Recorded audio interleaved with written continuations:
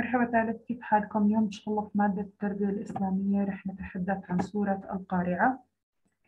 آه، السورة لا تحتوي على أسئلة أو شرح فقط المعاني والسورة. سأبدأ بقراءة السورة. أعوذ بالله من الشيطان الرجيم. بسم الله الرحمن الرحيم. القارعة ما القارعة؟ وما أدراك ما القارعة؟ يوم يكون الناس كالفراش المبثوث وتكون الجبال كالعهن المنفوش. فأما من ثقلت موازينه فهو في عيشة راضية.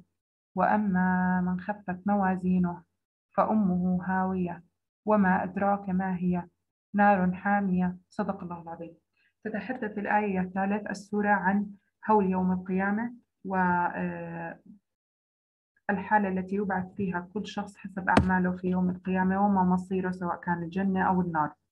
القارعة وتعني يوم القيامة كالعهن وتعني الصوف. المنفوش وتعني المتناثر. فأمه هاوية وتعني مصيره إلى النار. يعطيكم ألف عافية ثالث.